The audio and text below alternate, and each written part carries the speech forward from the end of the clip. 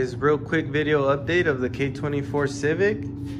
Finally, our oil pump kit is in, which is right in that box. And um, got the engine on the engine stand. Uh, using the engine hoist just makes it a little bit more simple. I did already have a set of these, but I haven't worked on an engine in so long that they were old and rusty, so I figured I'd just get a brand new set uh, just to kind of start off fresh. Um, show you guys real quick. So here's all our uh, oil pump kit stuff we're gonna need. I try to buy most of my parts from Honda, as you guys can see right here.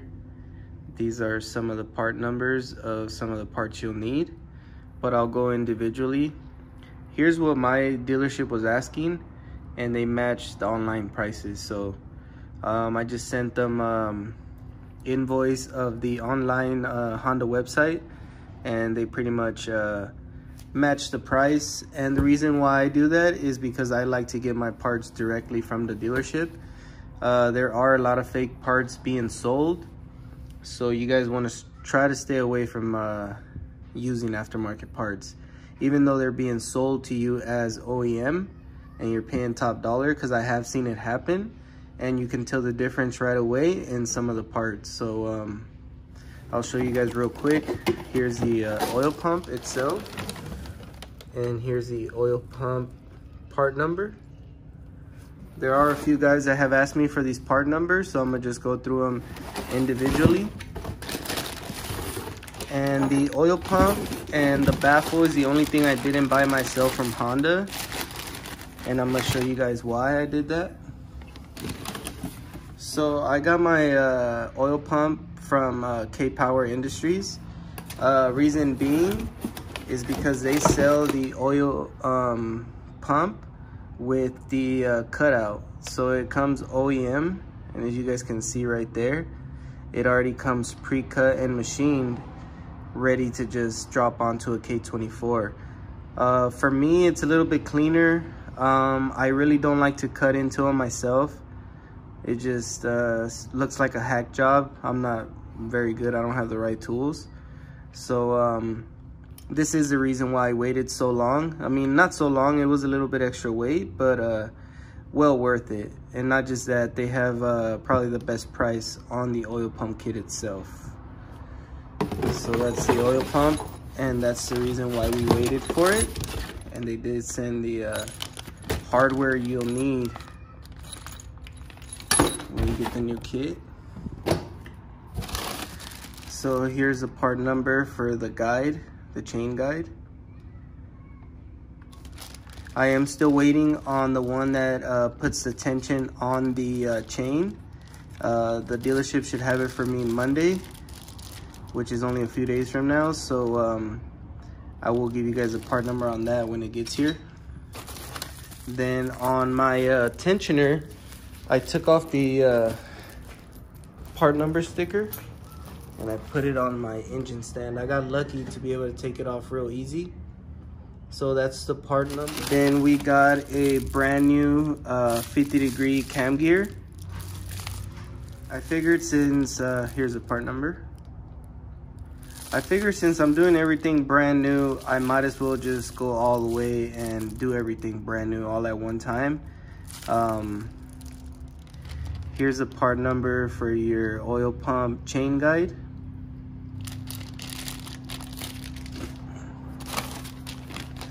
Here's a oil pump chain. And make sure guys, it has to be in this like pinkish wrapper. If it's not in this wrapper, it's definitely not authentic.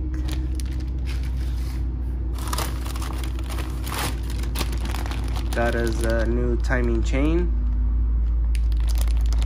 Here's the part number for the K24 chain. We got our baffle. That's your part number. And then I got some ultra flange. This is a Honda Bond in a, in a can pretty much. So when you press this in and you cut this, well actually it already comes pre-cut you just put this on there and it leaves the trail right exactly where you want it. This thing works wonders. And then we have our cam locking tool. You guys are gonna need this tool if you're gonna do your cam gear and also for your timing. Here's the part number. Very important tool. A lot of guys just use something in the same diameter, but can't go wrong using a OEM Honda part. And that's pretty much it. Uh, I am gonna be doing the oil pump soon. Uh, I'm gonna keep you guys updated. I just kind of wanted to show you guys a video on the parts you guys are gonna be using. A little bit pricey. Um, I've had a lot of guys ask me, did I have the oil pump? And um, why didn't I uh, do the oil pump from the beginning? So the oil pump kit cost as much as this long block. So just to show you guys like the beginning of how to put in an engine swap, it doesn't make any sense for you guys to go spend the kind of money on the oil pump kit and then you're trying to go uh, K-series. So it was just like a learning thing. I was just trying to uh, share what works and what doesn't. And now we're going into the performance side of the engine and um, should perform a lot better. Highly recommended. Uh, it's a lot safer on the K24 itself and uh, just makes it better. Also, I ordered this part right here. What this little part does is um, it allows you to block off your uh, heat um, passage, which is that black tube that comes back this way and it sits like right here.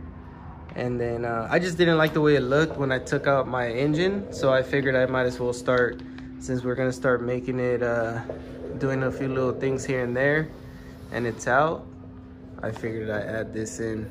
Comment, subscribe, let me know what you guys think, and I will keep you guys updated on the K24 Civic build.